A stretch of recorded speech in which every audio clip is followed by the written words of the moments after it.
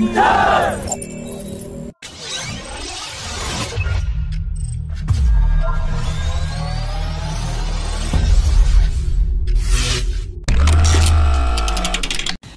DRDO has announced that Tejas light combat aircraft has successfully tested the fifth generation Python 5 air-to-air missile, and the Python 5 has now been added in its weapons capability.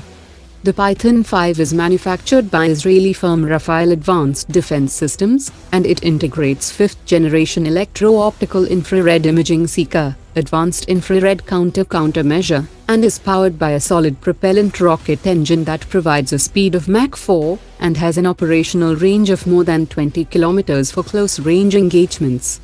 The DRDO has said that the trials were also aimed to validate enhanced capability of the already integrated I-Derby missile, which refers to the I-Derby extended range missile that features software-defined active radar seeker and has a range of more than 100 kilometers. In a significant development, the Indian Air Force has approached the French government to lease one A330 mid-air refueler for training purposes, and this is seen as a precursor to lease five more mid-air refuelers to increase the radius of its multi-role fighters. The leasing will be done on government-to-government -government basis, and the Air Force has already issued a request for information for a single refueler, while a request for proposal will soon be issued for the lease of five additional refuelers. Hindustan Aeronautics has also started working with the Indian Army on basic requirements of the Army variant of the CATS Warrior drone that will have different mission profiles and weapons packages.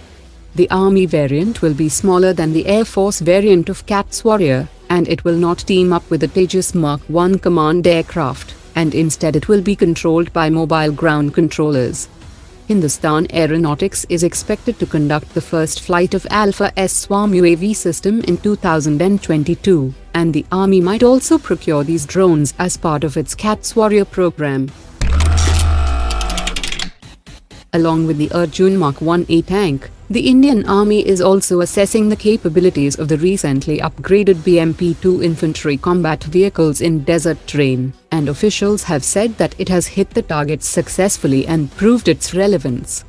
We had reported in February 2021 that the Ordnance Factory Board had delivered 33 upgraded BMP-2 vehicles that comes with night fighting capabilities, a 7.62mm medium machine gun, a 30mm cannon, and a second-generation anti-tank guided missile that makes it highly capable to target all kinds of low-flying objects and ground-based targets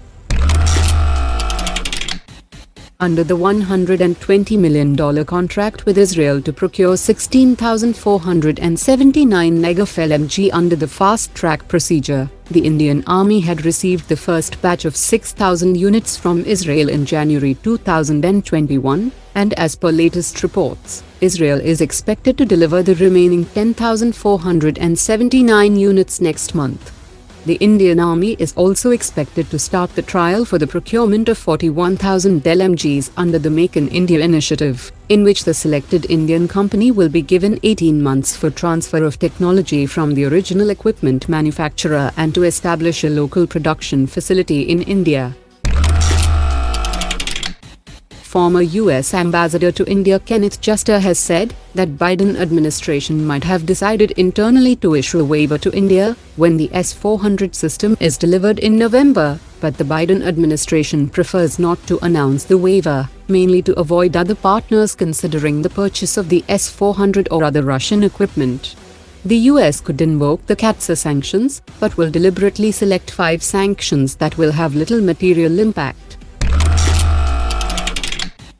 The Indian Coast Guard has conducted successful sea integration of the newly inducted Advanced Light Helicopter Mark III on one of its ships in Chennai. The Indian Coast Guard will induct 16 of these indigenous helicopters that will enhance preparedness towards coastal surveillance and search and rescue operations. The Indian Army Chief has visited the eastern Ladakh sector, and he reviewed India's operational preparedness in the strategically key sectors. Chinese Army has announced that it has inducted 10 air defense units of the army into the Chinese Air Force Command in a region bordering India, and this new joint defense units was also tried out in an exercise.